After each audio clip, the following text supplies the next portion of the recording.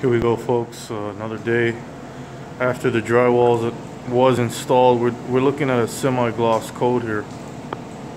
This is semi-gloss. The background, right now it's still wet. We just shot it.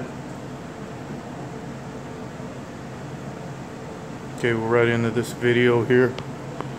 Honolulu interior painting. Interior painting and exterior painting professionals that's the living room area right now. We're working on the kitchen because they're gonna have new cabinets installed in three days. There's the new cabinets new countertops are coming in so check it out everybody. It's a great video. It shows in detail how we start to finish renovations from demolition to drywall installation, drywall finishing, popcorn ceiling installation, acoustic ceiling installation.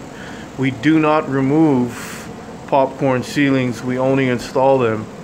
So for those of you out there that think you know more than we do, we, there's some things that you're going to learn from us. So again, there's the blower Right now it's blowing out all the fumes.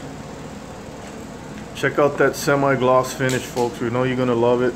A lot of people wonder why. What's the difference between semi-gloss and eggshell? What is eggshell? What is satin? What is matte finish? Every store has a different type of paint texture, rather it be semi-gloss or matte finish. Then you have your flat paint that has no shine at all. This is not the shiniest, believe it or not. This is actually semi-gloss. It is not high gloss, folks. So keep that in mind. There's a gloss higher than this, but this is the highest sheen that you want to go right here.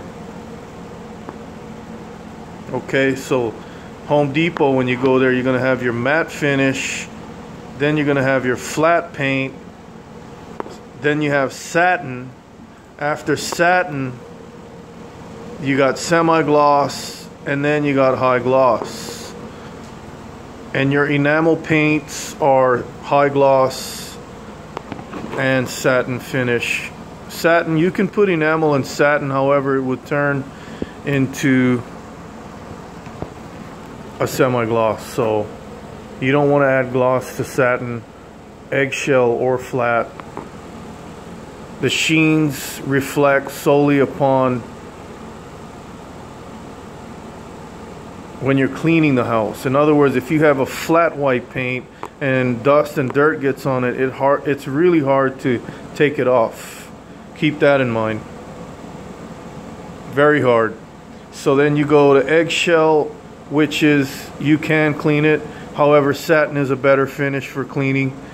Um, it doesn't have a lot of shine in it, all, but it does have a lot of protection, uh, stain resistant